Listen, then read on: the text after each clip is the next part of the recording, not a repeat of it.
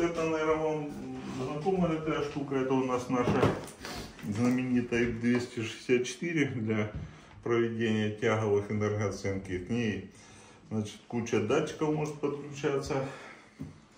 Э, датчики оборотов э, ведущих колес, температурные датчики, э, тензодатчики, 4 канала. Сейчас у нас разработан новый датчик угла поворота, бесконтактный. Включили и в компьютер вставляется там вот такой тоже маленькая штучка в USB канал в ноутбук воткнули и по радиоканалу собираете с четырех датчиков ну сколько вы там подключили, э, значит, он вращается и передает значение, скажем так, угла. И это преобразуется потом, в, э, считает, сколько у вас оборотов сделано. Значит, э, вот у нас в свое время, значит, это создавалось на корейских модулях, там внутри, там в нижней коробке стоят модули дискретные каналы, Э, температурные и э, аналоговые для тензометрирования. Значит, мы, э, ну и для связи с компьютером по USB. Это уже разработка наша. Здесь можно как USB, так и беспроводной канал сразу использовать.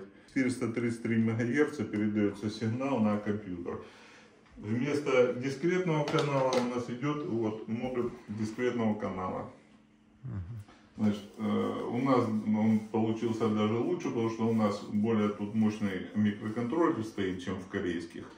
И, э, мы до 1000 герц получаем, можем определять сигнал. Там э, 100 герц идет, э, у нас идет и счетчики более емкие. Да, более емкие счетчики, плюс мы к нему сделали еще, э, можно ставить туда модуль э, GPS GLONASS.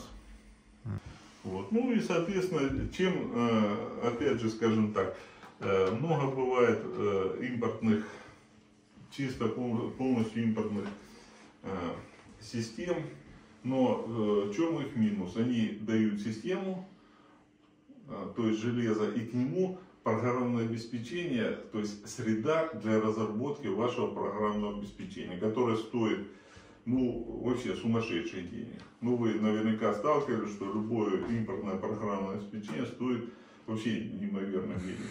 С этой системой мы поставляем с программой. То есть в стоимость системы входит программа, по сделанной... То есть как идет как в комплекте, да? То есть железо плюс ПО.